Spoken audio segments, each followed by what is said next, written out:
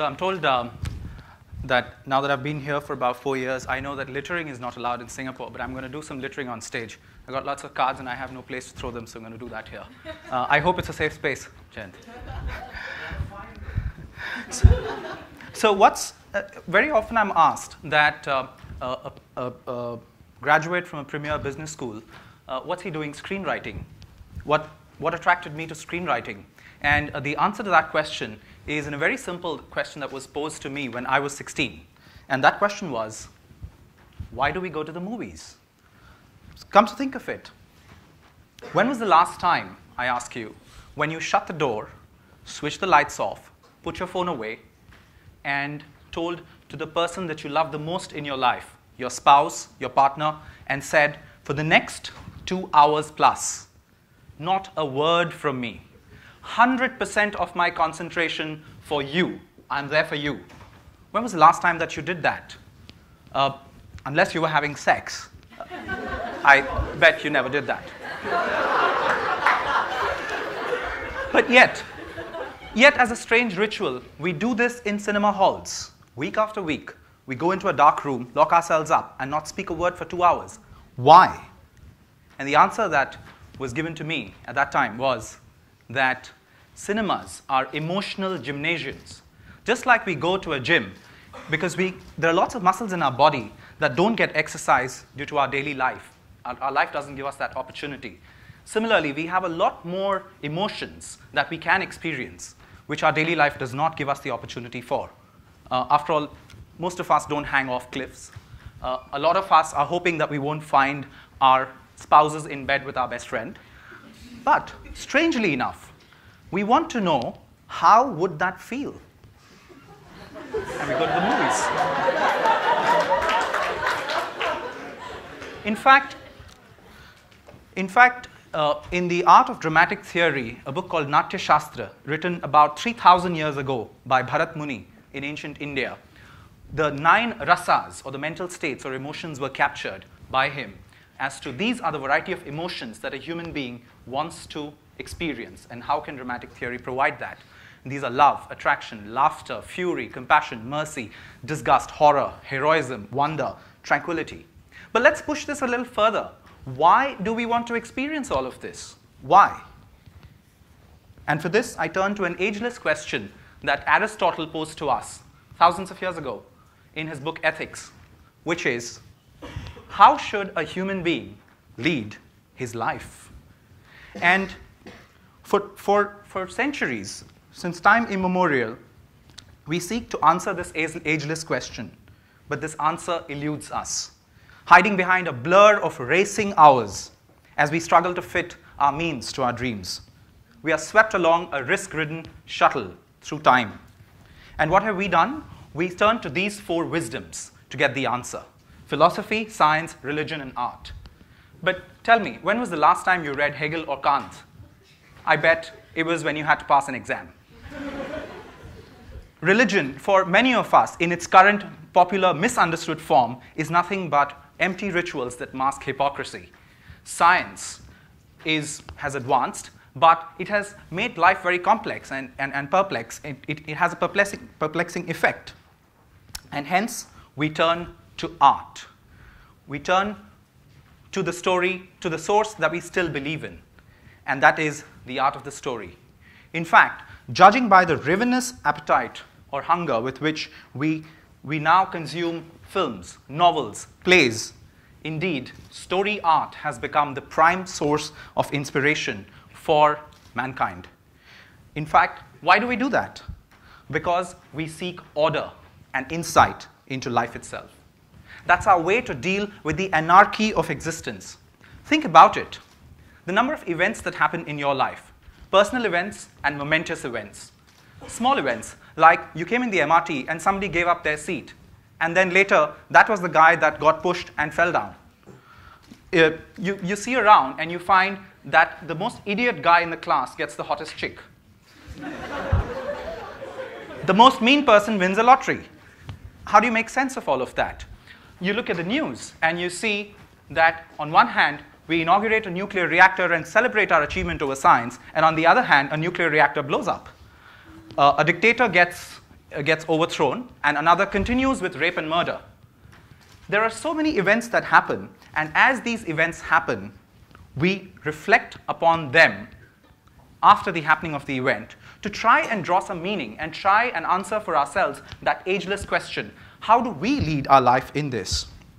And this is where story gives us the fast download option, which is that as we vicariously immerse ourselves in the events that happen to a character, in a magical thing happens in a cleverly crafted story. We have the simultaneous encounter of thought and feeling. And this is something that life does not allow us. Events happen in life, we later reflect upon them. Sometimes in hours, sometimes days, sometimes it takes years to actually distill out the meaning of that and what it means about living life. In life, experiences become meaningful with reflection and time, but in art, they are meaningful now. In life, fusion of idea and emotion is so rare when it happens, you feel like you're having a religious experience. And the second thing that's unique about story is that it gives you a direct sensory feel of truth. What do I mean by that? So consider this. If I give you this idea that we can live happily only if we are in harmony with the delicate balance of nature, you agree with the truth in this thought. But now, when I give you an emotionally charged story of Avatar, and I show you how what happens when the delicate links of nature and ecology are broken, it becomes memorable for you. An idea wraps itself around an emotional charge and it becomes more powerful, memorable, and profound. And this is what Robert McKee, the screenwriting guru, calls the controlling idea. The controlling idea of Titanic is love is what makes life worth living and what is worth dying for. The controlling idea of survival films is courage and genius of humanity will prevail over the hostility of nature. The controlling idea of Kramer versus Kramer, an ironic, bittersweet film, is that sacrifice involves pain, but love triumphs when we sacrifice our needs for others. American Beauty. Compulsive pursuit of success, fame, sex, and power will destroy you. But if you realize this truth in time and throw away your obsession, you can redeem yourselves. And in the case of American Beauty, once he throws that away, even death is a feeling of lightness. Or dark ending films, where the controlling idea is if you cling to your obsession, your ruthless pursuit will achieve your desire and destroy you. Or The King's Speech, where when we cast away titles and connect as human beings, we can overcome the biggest of obstacles. Now, each of these controlling ideas can actually be the title or the subject of a philosophic paper or a mathematical scientific proof to prove each of these, or even a sermon. And in fact, as you leave the room, uh, on the table outside, you will find copies of all three. You will also find the DVDs of these movies. Take your pick.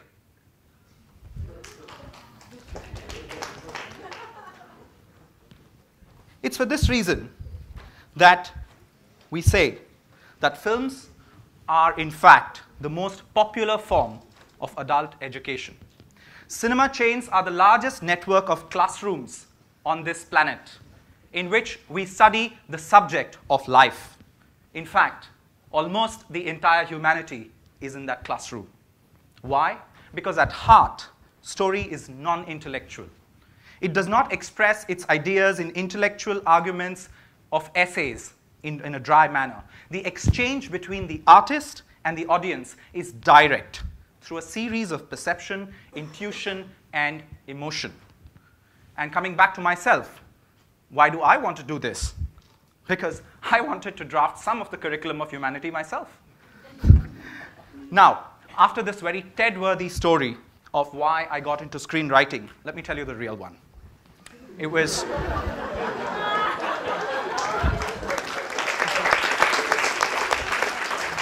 it was. We got two passes for an awards night back in Mumbai for the Screen Awards. And my wife and I, we dressed up and we landed up, uh, only to find that in this gigantic stadium where this awards were going to be held, open air stadium, our seats were second from the last row. And the security, the, the rather, the crowd control experts showed us our place duly on that night, I told my wife, I want to be famous. I want to be in the front. I want to live beyond my years on this planet. Because people die, stories don't. So I took the jump. I went on a part time program with my consulting firm and started the double role of my life. How was it? Well, I figured out that indeed my years on this planet, uh, uh, uh, I will definitely live beyond my years on this planet. But my years on the planet would be rather tough. you see, a novelist is paid per, book of the, uh, per copy of the book that he sells, a copywriter is paid per line, a journalist is paid per word, a screenwriter is paid per haps.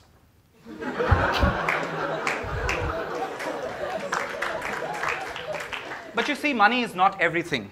You know, all of us agree that a writer's job is a very important job, right? Do we? Yeah, okay. Um, so, uh, you remember the pain of bad writing, you know, when you got into the seat and from the first minute you knew that how this is going to end and how painful it was to really go through it. And of course, the engagement that you felt when there was a great, nicely written movie and so on and so forth. So think about your three favorite movies. Quick. Okay, three favorite actors. Okay, three favorite directors. And three favorite writers.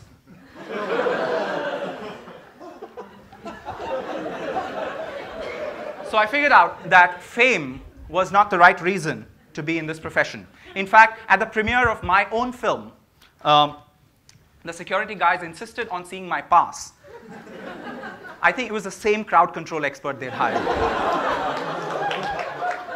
But listen, it wasn't as if this double role was without any uh, interesting moments. There were interesting moments. Like, I turned up on the first day uh, and uh, with a very hour by hour agenda as we're used, in our used to in our corporate life uh, with this very famous writer. Uh, and then I found he had his own agenda.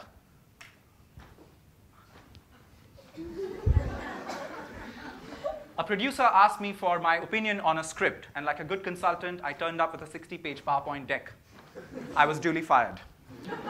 Um, anyways, two movies and an award nomination later, McKinsey came calling, and I shifted from Mumbai to Singapore.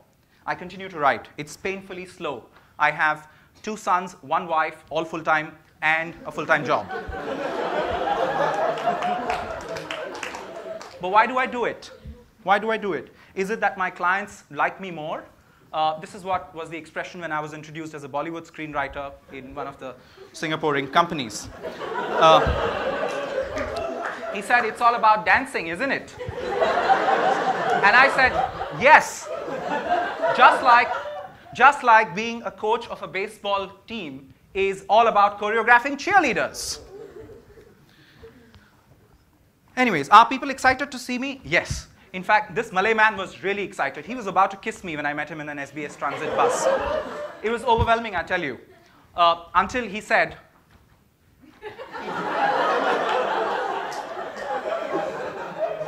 and I said to him, Yes, indeed, up close and personal. Well, does it at least make me popular with family and friends? Yes, of course.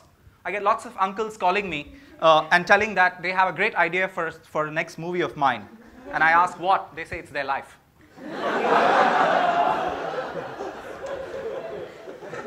so clearly, it's not about all of this. So, what is it that I still continue to write? To me, it is my connect back to India. To me, it is my connect to Indian people and Indian stories. I'm a great believer in that story, in the story of India. And Indian stories are changing. Mainstream Bollywood stories are changing. And I'm not talking about some parallel small movement that's happening. Sample some of these. So this is Lage Raho Munna Bhai. These are the top blockbusters of the last five years. Okay? This is when a gangster falls in love with the caretaker of an elderly home, and then he hallucinates that Gandhi talks to him, and how he undergoes a transformation and wins his beloved over by having a non-violent struggle against those gangsters who are going to take over this elderly home and wins his beloved under the guidance of none other than Gandhi himself. Rang De Basanti, where four wayward youths find their calling when they act out in, the amateur, uh, in an amateur film the roles of revolutionaries and so on. Um, Tare Zameen Pe, where uh, and, and, uh, when an art teacher gets the inspiration out in an autistic student and makes him sort of inspired and, and realize his potential. Three Idiots, where the son of a gardener joins the best engineering college and uh, challenges the foundations of the education system, and goes on to actually have his fellow students and professors actually discover their true passion and becomes a school teacher and a venture capitalist. And so on. I could have more examples, but the time there is running out. So, where is Bollywood and Hollywood today? Uh, as per Time magazine, uh, Bollywood today has a global audience of 3.6 billion compared to 2.6 billion of Hollywood. It produces 1,000 films as against 500 of Hollywood.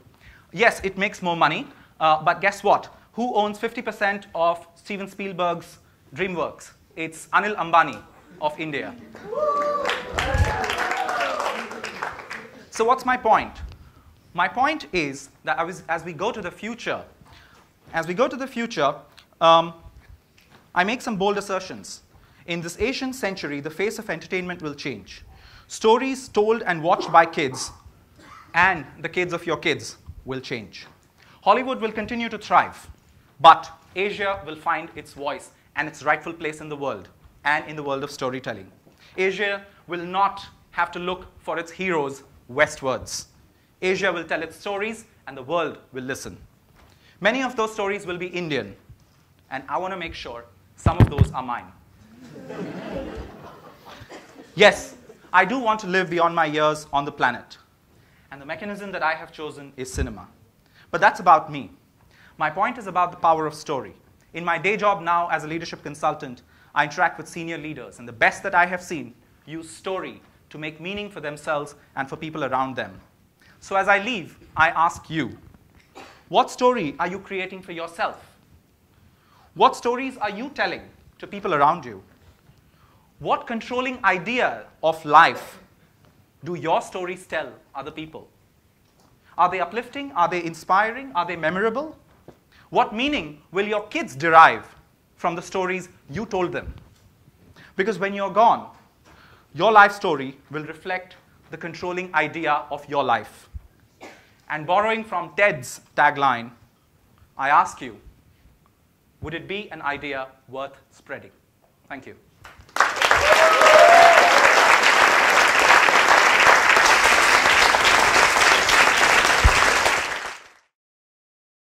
you